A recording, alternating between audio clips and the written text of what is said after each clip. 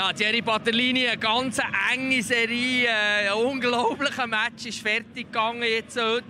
Wie fällt euer erstes Fazit aus, so kurz nach, dem, äh, nach dieser Verlängerung?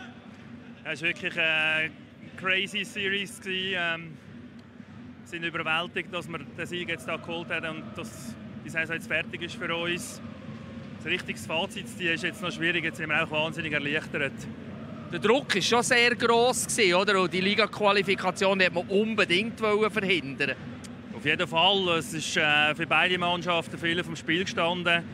Äh, wir haben die Serie gut gestartet, 2-0. Aschua ist zurückgekommen. Und die letzten beiden Spiele jetzt in der Verlängerung war unglaublich knapp. Gewesen. Sagen gleich noch etwas zu diesem Match heute. Also irgendwie die kurzen Torfolgen, so etwas sehen wir nicht gerade Alltag. Also ich kommentiere auch schon relativ lang, aber ich glaube, so ein Match habe ich noch nie gesehen. Ja, es ist, äh, das Trainer hat das Gefühl, deine Mannschaft ist parat, dann stehst du auf Sisu, aus 15 Sekunden ist 1-0. Dann im zweiten Drittel habe ich gemeint, wir, oder das Gefühl, wir sind sehr gut drin, gewesen, haben alles im Griff gehabt. Äh, extrem viel Druck aufgebaut auf Ajoa und sie schiessen nachher nicht die Goal und total äh, der Match äh, Kopf gestanden. Aber wir zum Glück wieder zurückgekommen und jetzt in der zweiten Verlängerung das erlösende Goal von Harry.